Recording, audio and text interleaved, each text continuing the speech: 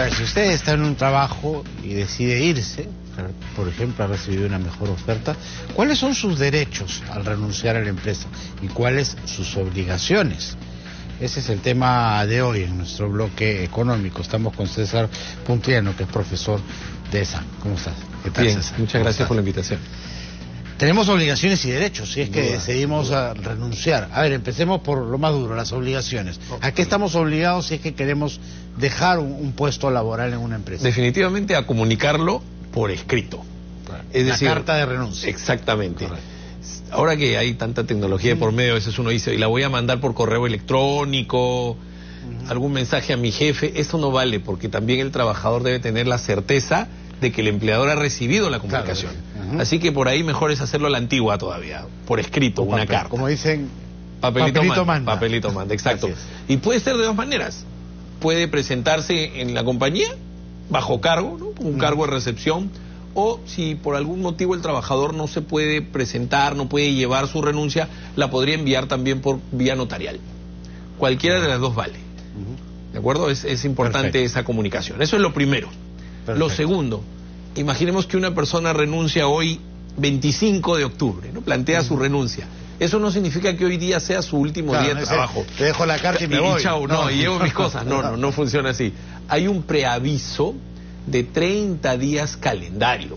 Es decir, la renuncia, al ser un acto unilateral, no necesita ser aceptada. O sea, presentada mi renuncia ya se entiende que termina mi relación laboral, pero luego de 30 días calendario de que se ha, digamos, remitido la comunicación al empleador. hoy, 25 de octubre, el 25 de noviembre ya quedaría liberado, o, a partir del, del 26, digamos. Correcto, correcto. Ahora, sin embargo, pueden haber situaciones como, no sé, pues un trabajador que se va fuera del país, que ha conseguido otro trabajo.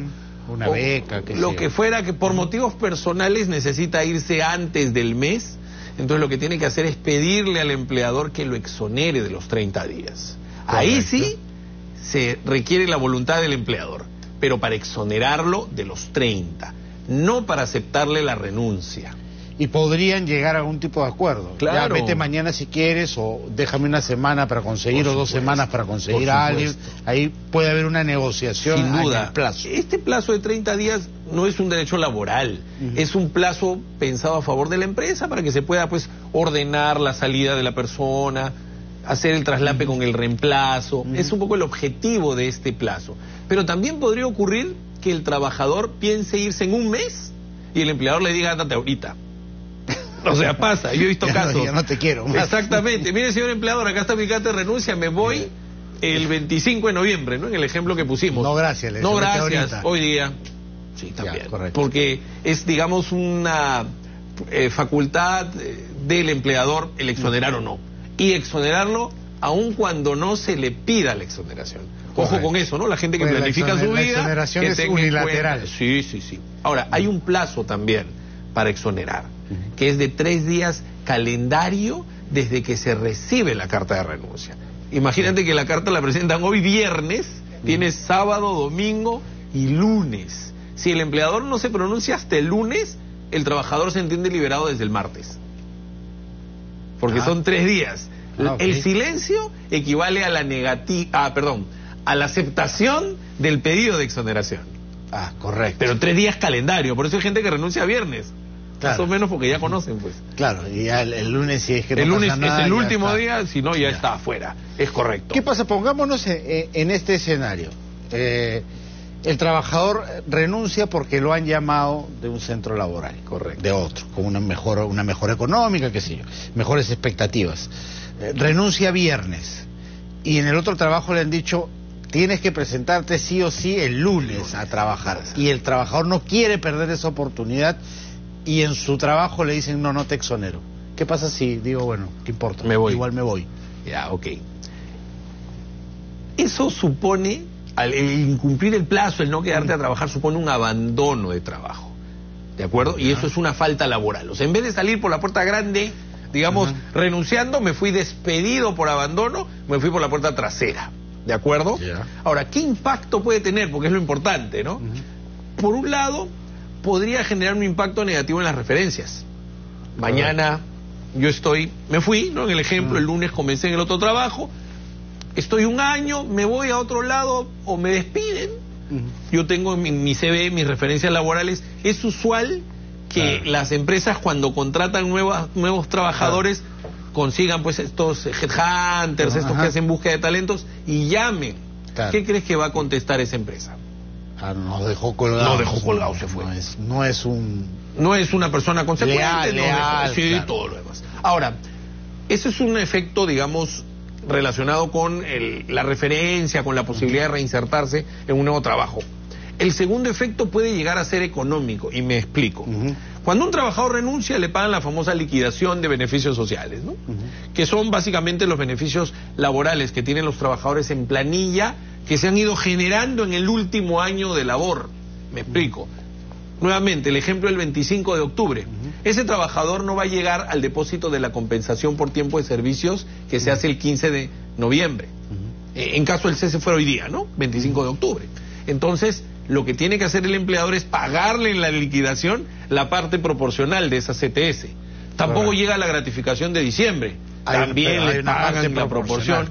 Así como la vacación generada del último año. Porque como la ley dice que cada año tienes derecho a 30 días de descanso, si saliste antes, te pagan también el proporcional. Todo eso se abona en la famosa liquidación de beneficios sociales que en principio el trabajador tiene derecho a ese pago, así renuncie, lo despidan, se jubile, es independiente de la causa por la cual se termina el vínculo laboral. Pero si este trabajador se fue el viernes, dejando todo colgado, el trabajo a medio concluir, el empleador lo despide por abandono de trabajo, y resulta que ese despido generó un perjuicio económico, imagínate que es un contador y había que presentar los impuestos ante la SUNAT. No se presentaron, multa, intereses y todo lo demás. Entonces, la ley faculta al empleador a retener la compensación por tiempo de servicios, pero siempre y cuando le inicie un juicio laboral al trabajador por los daños, para resarcirme por los daños que me ha generado el abandono. o sea, no es en automático. A donde quiero llegar es que el despido por falta grave no faculta a las empresas a retener la liquidación de beneficios sociales. Hay gente que piensa que sí, pero eso es un error. Claro, o sea, como te fuiste no te pago. No, no es así. Corre por cuerdas separadas, digamos. Con lo cual, la renuncia, digámosle, intempestiva, ¿ya? para usar este término, económicamente solamente va a perjudicar al trabajador si su abandono le genera una, un perjuicio al empleador y este luego le inicia un juicio laboral. Si el em, empleador no sigue toda esa secuencia, tiene que pagarle la liquidación, así no le guste. Esa es la regla. Correcto. Ahora hablemos de, los derechos, que más o menos ya los has detallado. Exacto, exacto. Digamos, repitamos los de, acuerdo. Me pagan mi liquidación. La liquidación es un recibo, se llama liquidación de beneficios sociales. La gente la conoce así. Entonces, me tienen que pagar todo lo trunco, lo que no se llegó a, digamos, depositar o a pagar en el tiempo que correspondía porque yo me fui antes. Ejemplo, se fue el 25 de octubre. En, en, noviembre, la primera quincena hay que depositar la compensación por tiempo de servicios. Como no alcanza el, al depósito se lo pagan en la liquidación, la proporción. La gratificación de diciembre tampoco va a llegar, entonces le pagan la proporción en la liquidación también. Las vacaciones, probablemente se ha ido generando una vacación en el último año. Como no va a tener ya chance para gozar el descanso físico, le pagan también ahí. Y en la liquidación se pueden pagar algunos otros adeudos adicionales. Imagínate vacaciones pasadas, y, Correcto. Eh, utilidades, las utilidades pasadas también, porque las utilidades de este año se pagan el próximo, el próximo porque todavía no ha cerrado el ejercicio. Pero cualquier adeudo el empleador puede aprovechar para pagar ahí y también para hacer descuentos. Imagínate que el trabajador tenga préstamo, le descuentan. Comedor, le descuentan. Cualquier gasto que él tenga, cualquier, digamos, adelanto que por ahí le hayan dado, le descuentan también. Desde luego es importante aclarar a las a los televidentes que cualquier descuento en la liquidación de estos que te estoy comentando tienen que estar autorizados por el trabajador. O sea, si yo, digamos, el empleador me prestó plata, ¿no? Ya, Hubo un acuerdo de préstamo, en el acuerdo tiene que decir que el día que yo me vaya va contra mi liquidación. Si no, no me la pueden tocar. ¿Qué otros descuentos también se pueden dar? Alimentos, los famosos juicios por alimentos. Mm. El trabajador que tiene un juicio con la esposa, ex esposa, mamá, hijos menores de edad, lo que fuera, entonces el juez de alimentos a pedido de la demandante, como decía, podría ser la esposa, ex esposa, le cursa un oficio a su empleador y le dice, ojo, el día que este señor se vaya, aplícale a la liquidación y me lo depositas en tal cuenta. Entonces, por ahí también va el tema. Ahora, la liquidación se paga dentro de las 48 horas que opere el cese. Hay 48 horas para que se pague. Y también... Después de que te has ido. Después de que ha terminado el vínculo laboral, correcto. Pero también Incluso así te quedes los 30 días. Exacto, lo que pasa es que ahí, en el otro ejemplo, renuncia hoy, el fin de su relación laboral es el 25, digamos, de noviembre, tiene hasta el 27 para, para pagar la liquidación de beneficios sociales. Y también en el cese, no solamente le pagan la liquidación, sino que tienen que darle algunos documentos. Uno bien importante es una cartita que va al banco, a la caja, a la institución financiera donde está depositada la CTS, para que la persona pueda retirarla. Si quiere. Estando sin trabajo. Si quiere, porque si no la deja ahí y sigue ganando intereses. no es obligatorio el retiro, pero sí la emisión de la carta. Y si el empleador no la emite, el ex trabajador puede pedirle al Ministerio de Trabajo. Si es que no, la, no lo hace, ¿no? También su certificado de trabajo. La ley dice que el certificado de trabajo tiene que indicar puesto, fecha de inicio y fecha de cese. Nada más. Si el trabajador tuvo a lo largo de su vida pues un montón de memos, sanciones, este trabajador era un indisciplinado, no. Fecha de inicio, fecha de cese y cargo. Ya si le quieren echar flores, le pueden echar flores. Eso sí es voluntario. También su certificado de retenciones del impuesto a la renta que le sirve para el nuevo empleador y, eh, como decía, la, carta de CTS, que también es bien importante. Esos documentos se entregan junto con la liquidación de beneficios sociales. estamos hablando de trabajadores que son estables. En planilla. ¿Qué pasa si hay mucha informalidad en nuestro país? Por ejemplo, se ha trabajado a través de recibos por honorarios varios años, con horario, con un jefe. ¿Cómo, ¿Cómo demostrar eso, acreditar para que finalmente no, nos den los beneficios que también, que también nos corresponden. A ver, ah, pueden haber dos supuestos, que se trabajó varios años por recibos por honorarios y luego la persona entra en planilla o que siempre estuvo fuera de planilla, ¿no? En el caso que entró, digamos, en planilla, la liquidación solamente va a comprender el periodo en planilla. la, empresa no va a reconocer la ilegalidad previa en un papel, no lo va a hacer.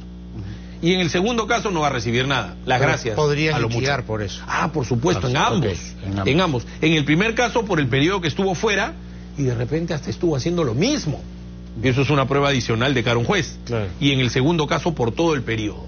Hay cuatro años desde que se extingue este vínculo para poder reclamar. y ojo, un tema bien importante, en la liquidación siempre hay un parrafito al final que dice, declaro haber recibido de mi empleador y no tengo nada más que reclamar. Eso es solo letra en el derecho laboral los beneficios son irrenunciables. Entonces el trabajador, por más que firme, puede ir a reclamar cualquier diferencial o cualquier beneficio no pagado al Poder Judicial y tiene cuatro años para hacerlo. Perfecto. Clarísimo, clarísimo. Gracias. No, gracias por la invitación. Muchas gracias. aquí nuestro bloque económico.